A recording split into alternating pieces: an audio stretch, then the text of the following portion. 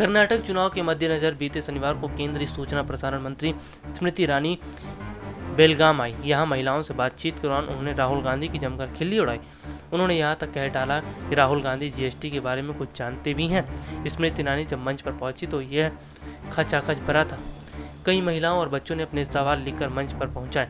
स्मृति ईरानी ने पहला सवाल चुना।